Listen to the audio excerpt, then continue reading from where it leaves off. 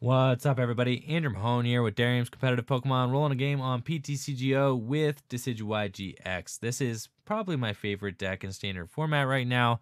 I think that it is an underexplored archetype considering how good it is. I think it's underrepresented in the metagame right now. I think Decidueye is really just as good as it was uh, pre-rotation with Forest of Giant Plants. It's just the the standard the format is just different now.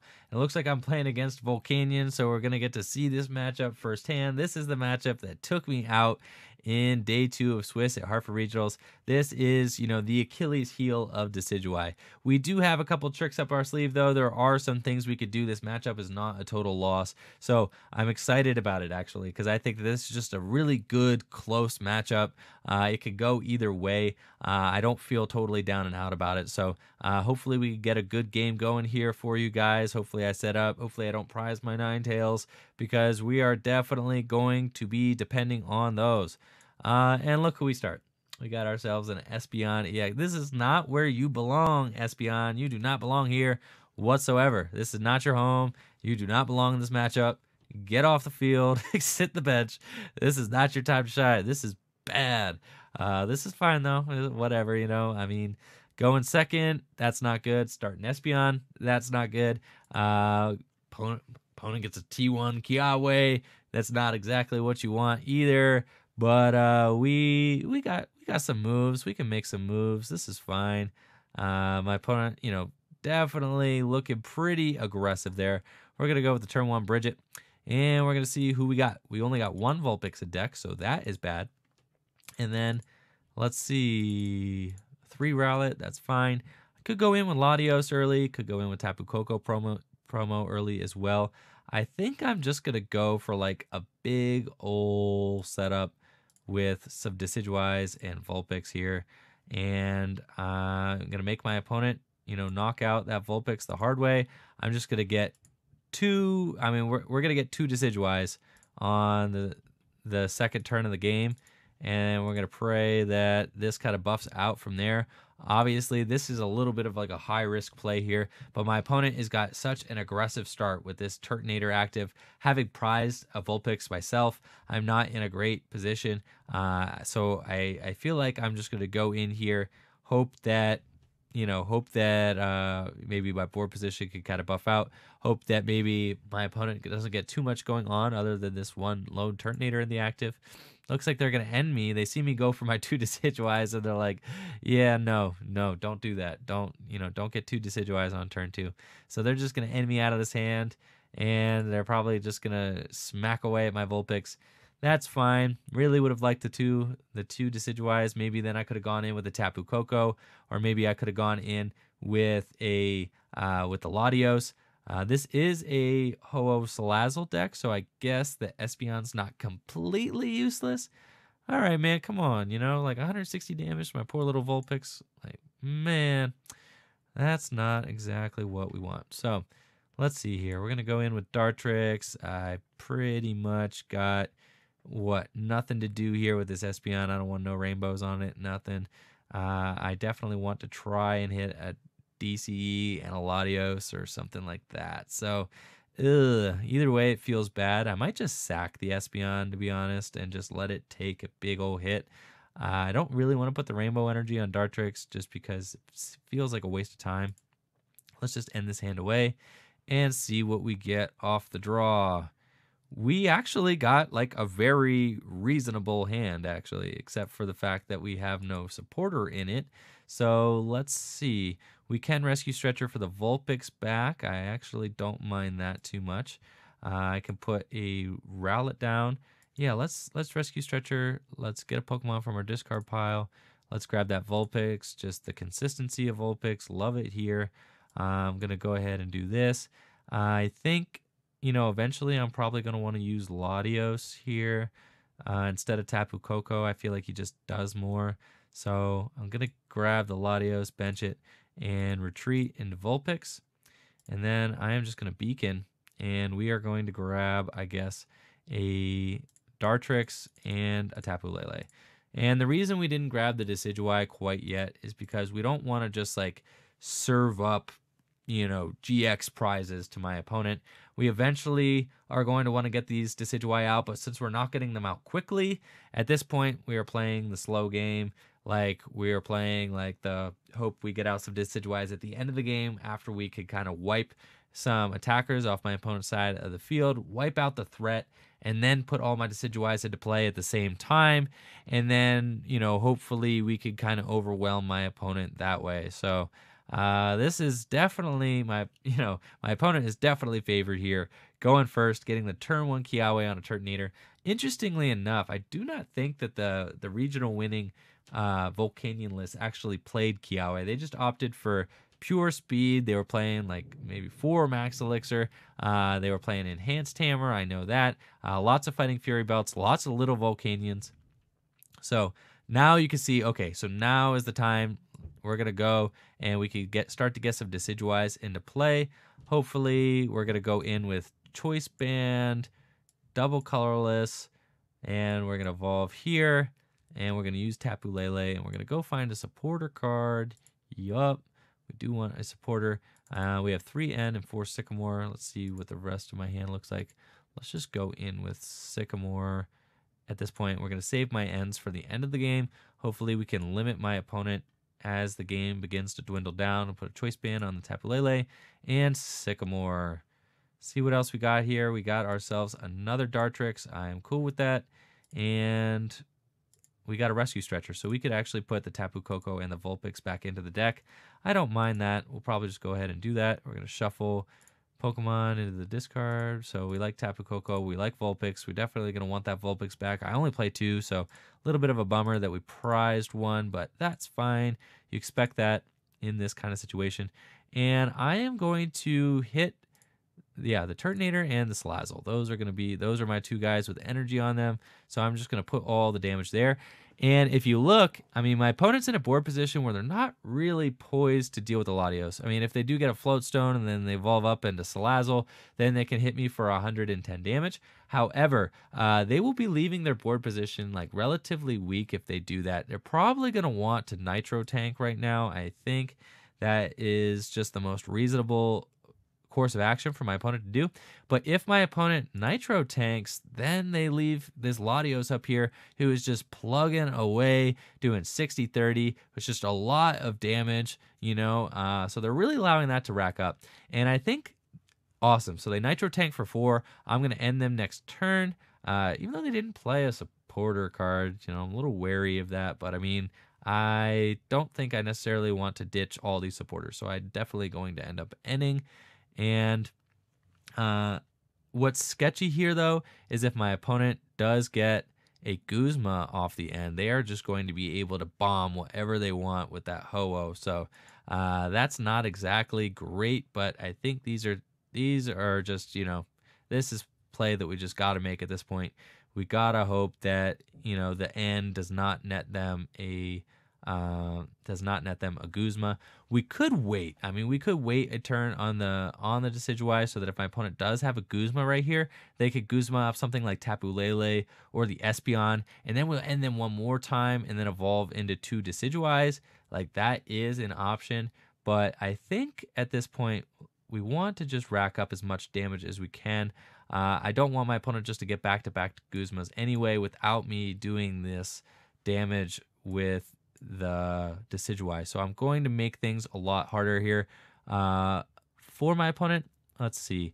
Now we can knock out the Salandit. The Salandit is a little bit troubling because he is just, if he evolves up into, um, if he evolves up into a Salazzle, like, and my opponent takes more prizes, like that is just going to be very stressful. So I think I am going to double Feather Arrow and knock out the Salandit which is just so good. I mean, you you're seeing firsthand here just how good this Latios math is like working out for me. I am loving it. Just the the 30 damage there on the Salandit, making it just an easy knockout for uh for my dude there. And then I can actually, weirdly enough, I can actually Ultra Ball. I could get another Decidueye. I don't.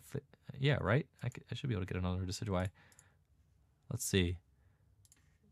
I didn't just evolve this Dartrix this turn. Sometimes when I'm commentating, guys, I forget I forget what I've done during the turn. So apologize there. But yeah, we could actually get the third Decidueye, so that's cool. And I'm going to be able to Feather Arrow the Ho-Oh.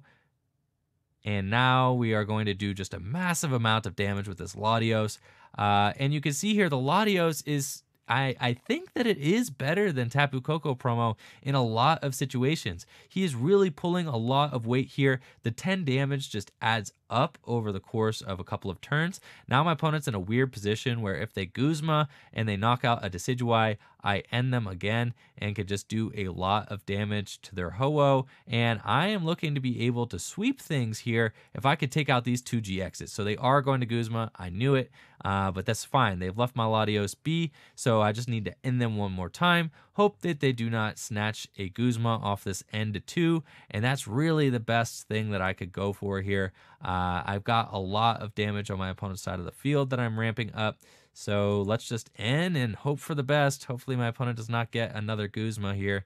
That would be bad. So I think my best course of action, uh, let's see, if I do actually, okay, this is interesting. If I do, I could do 100 damage here with Lagoon Flight.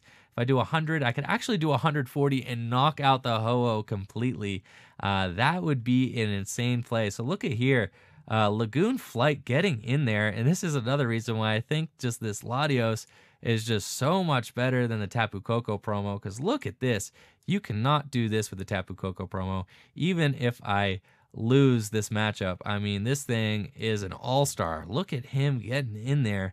Uh, I'm not even missing the free retreat at all. I am loving this thing through and through. So now my opponent needs a lot of cards. They need not only a that is insane. Look at that. Uh, not only do they need a Guzma to win the game, they need Guzma Fire Energy to win the game. And if they don't get a Fire Energy to knock out my active Latios, uh, with this Turtonator. And even if they do knock out the active Latios with Turtonator, they put themselves in a bad situation because then they leave themselves with one energy on board. So I wonder what their Ultra Ball, they're going to get a Lele, but they can't go for Guzma because Guzma will not get them to game. They have to go for Sycamore, something like that. But I saved my Ns. You saw that one turn, I said that I wanted to save my Ns. I saved my Ns. I got one more N here. So I wonder what my opponent is going to do. They're going to have to attach an energy somewhere. They're probably going to have to attach this active Turtonator and then discard in order to knock out my active my Latios. I'm going to have this hand here guaranteed. They can't really accelerate any more energy. So at this point, if I could just get, do I have any energy left in deck? I do. I've got I've got double colorless out the wazoo in my deck. I should have three left. So then I'm going to be in a good position. I could knock out the Turtonator. Then I just have one more prize to take if my and my opponent definitely has to knock out this Latios or they are just in a bad, bad position. Because Latios is just putting on so much pressure to my opponent's side of the field with that breakthrough attack. Lagoon Flight, my opponent probably did not see that coming. I didn't even really see the Lagoon flight play, I thought that Ho-Oh was going to be putting on a lot more pressure, uh, you know, a lot more than one turn anyways. But Lagoon flight getting in there with Feather Arrow combined doing 140 damage for that turn is in. Oh, and my opponent did not get the energy. They just have to shell trap. Oh my gosh. Okay, so what do we do here? We are closing this one in. My opponent has got uh, two prizes left to take. I have to knock out the Turtonator uh, because then my opponent could potentially win the game with Turtonator if I don't take it out. So I need to take it out. Uh, I can do, what, if I do 30, then that's 150. I can snipe it twice. So I can Guzma something up. Uh, I think I'm going to Guzma up the Volcanion here since I do not want to take Shell Trap's damage. Uh, or I could Guzma up a Volcanion EX. Uh, then I'm doing more damage to it. Uh, oh, geez. Yeah, let's... uh. Yeah, I think just make it a little more awkward for my opponent. I don't necessarily want to invite the Volcanion up since that's just going to make it... Um, that's just going to make it easier for my opponent to be able to win the game because then uh, they could actually just start use, using Power Heater potentially. So I think I am just going to go with this route. I'm going to double feather arrow the Turtonator and then knock out the Turtonator, doing 60 damage to the active Volcanion. So I'm getting some mileage out of this choice band as well. Obviously, the little Volcanion has more hit points, but I'm bringing up the the Volcanion EX just so it's one more card my opponent has to hit in order to close this game out. Now uh, we're gonna use Breakthrough again, knock out that Turtonator. Obvious, man. I just I know I've said it a million times, but I mean the games that I have played with Latios in deck, ha- Latios has been an all star in all of them. Uh, the breakthroughs, 10 damage, the 10 more damage we get from breakthrough has been significant over and over again. Uh, and I just think that it, you know, it, it's just so good. Um, my opponent probably not going to get the knockout on my Latios here. You can see they did get the Floatstone. they did get the Sycamore. Uh, they would need to do nine, what, 80 damage. So they would need to power heater and then steam up twice. So they would need three energy. They play a Po Town in their Volcanion list. This is probably an effort to to uh, what damage Gardevoir, bring Gardevoir GX's hit point down into Oko range, but I'm not a big fan of Potown in this deck. Looks like my opponent, oh, they are tired of the Latios. They do not want this thing around. They are not happy with it. So they are going to go ahead and just go in with Tapu Lele GX on my Latios. That is a little sketchy, actually, uh, because that leaves my opponent with one prize remaining. Uh, I'm going to be able to end them, uh, but I'm not exactly sure here. Uh, I have double colorless energy, so I guess my best course of action is just going to be to try and get some energy onto a Lele and hope that my opponent doesn't get anything powered up that could deal with Lele. Uh, I wonder how many Guzma I do have. Should have a Guzma left in deck. Uh, fortunately, my opponent has not killed any of these floatstones yet, so I am enjoying the free retreat, though I did have floatstone here. Um, I think we...